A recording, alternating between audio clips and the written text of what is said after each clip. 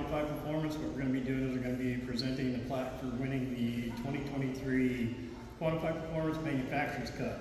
Arm on that. Beat a bunch of companies. This is rigged if we, if we want it. It's, it's not. I just happen to shoot a lot of matches and get a lot of points. So, Okay, um, basically, so what we got, we got this plaque.